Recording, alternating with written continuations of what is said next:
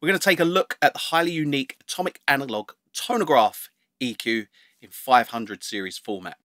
Light boosts or cuts result in a wide, smooth curve.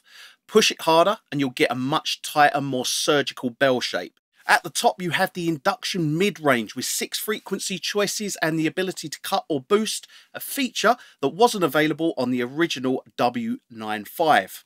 Next, you have the high shelf with a choice of three frequency points, 7K, 10K and 16K. Below we have the low shelf that is fixed to 60 Hz.